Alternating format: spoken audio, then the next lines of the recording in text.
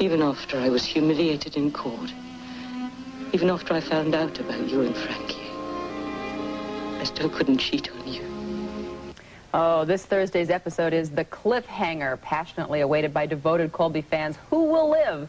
Who will answer these questions? Maybe Stephanie Beacham. It's nice to have you here. Delighted to be here. Can you tell us anything about this cliffhanger? Well, I felt so sorry for Sable in that clip, and I think that if things continue to go against her, she'll turn and get cross, and um, when she gets cross, frightful things can happen. She makes nasty little schemes and plans.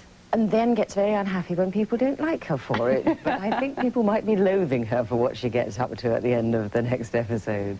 You've been playing this role for about a full season. Yes. How, how demanding has it been? Well, it's been increasingly demanding because uh, I've allowed Sable to get more and more neurotic. It's, it's, uh, she's such a terror. I, at first I was thinking, where shall I take this character and pushing her along. But for the last few episodes, she's been pulling me by the hair. I mean, she's been uh, uh, uh, getting out of hand. It must be fun to play it, but also very demanding to play someone with that much emotion. Yes, but at least she's a Constantly. full person. At least she's nearly a three-dimensional human being. When you're off the set and you're just out around, do people expect you to act at all like that, or certainly to act like a billionaire's wife? well, they're in trouble if they do. they get this rather mumsy person nattering at them, and I think it surprises them. when, you, when you walk into a store, do they give you a funny look if you say, what's the sale price, please? Oh, I'm dreadful. I got, I got caught by five women. I was, I was turning over the, the sale tags on some jumpers, uh, some sweaters, um, and uh, they had a discussion about me. There were five women standing there as if I was on the television. I was going red with embarrassment and hid. Uh, uh, ran away as fast as I could. Yes, I think it's, it's difficult playing a billionaire. You have two daughters, 9 and 11. They're in boarding school in England. How have they adjusted to you being here and coming over here to visit you? They're getting quite used to coming on the, uh, the aeroplane, but uh, uh, uh, my eldest was sick on the way home last time, and I said, oh dear, does this mean you don't like aeroplanes anymore? And she said, no, I think I'm only sick on the way home.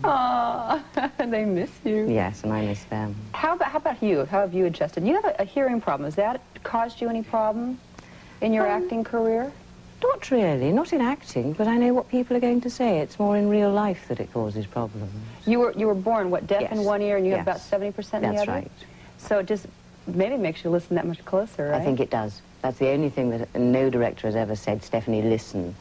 Um, but I do, I think that I'm thought of as quite snotty in real life because I will just ignore people. I don't hear them. Tap me on the shoulder if I ignore you. Oh, and now that you're playing Sable, they Oh, might quite. really think that you're snotty. Do, do you ever get any bad reactions from people when you're walking down the street saying, how could you be that way? No, at first I did. They used to hiss at me in the supermarket. Really? Hmm. uh, but more recently, I think that people have understood that I'm doing an acting performance, and people have uh, seemed to be uh, kinder to me. But you'll be very nasty in the cliffhanger, right? This, this Thursday night here on ABC. Yes. Nice to meet you. Thank you.